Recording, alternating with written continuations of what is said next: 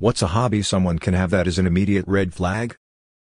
My old roommate used to go out driving on rainy days specifically to splash pedestrians. That seems pretty red flaggy to me. Dog fighting. There was a post of a guy that was angry at his mother because her hobby was to find random people on the net, find everything about them and message them about it. Posting everything, every single thing on social media, mouthless face, fog. Making fake animal rescue videos. Abusing animals hurting and making fun of homeless people for content. I'm just really into Hitler.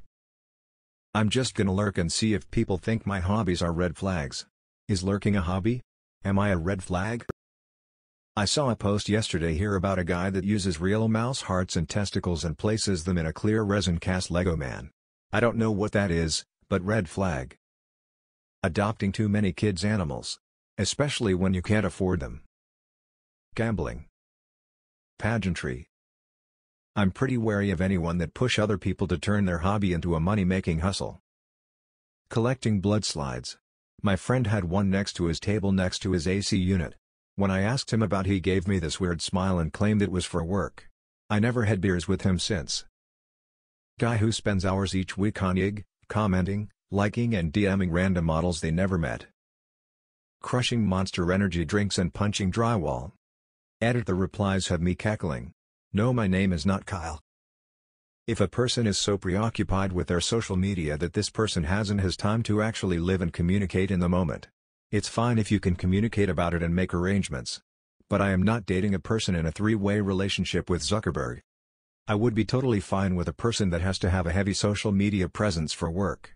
But I would want to be able to set boundaries that work for both on us on it. Family vlogging Family vlogging completely violates children's privacy. Using kids to shore up your own online presence is not okay.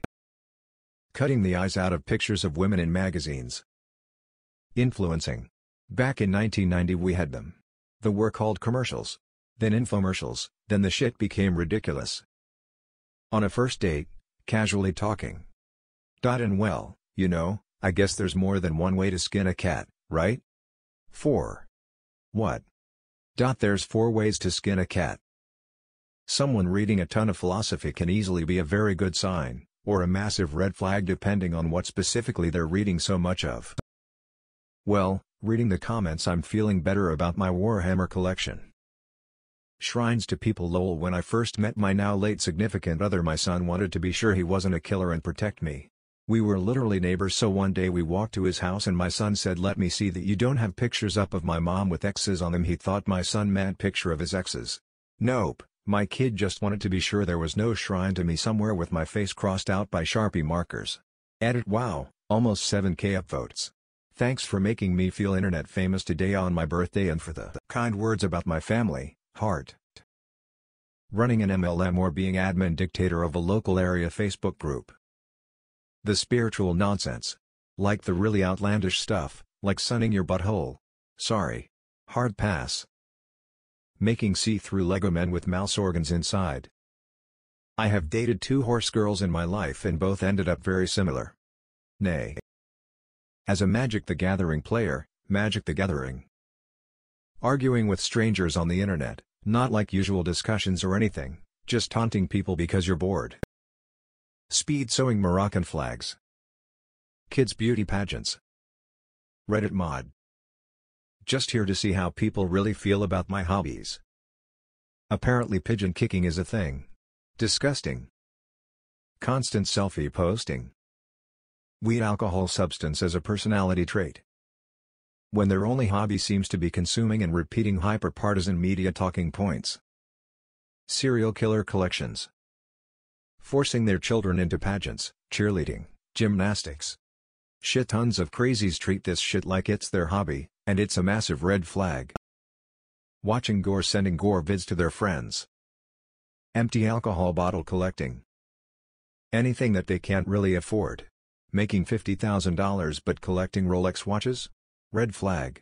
Making $40,000 but always buying haute couture fashion items? Red flag. Making any amount of money and into Warhammer? Red flag. Met an Uber driver that told me he did taxidermy for fun. Well, not really taxidermy. I just kind of pickle animals organ and you wouldn't believe the market for it, I've made $35 this month alone. Never been so creeped out in my life. Spending tons of time on your phone looking people up just to talk shit or find dirt on them so you can re-justify your own self-worth value. Collecting vintage preserved human anatomical specimens. I actually worked with someone who did that.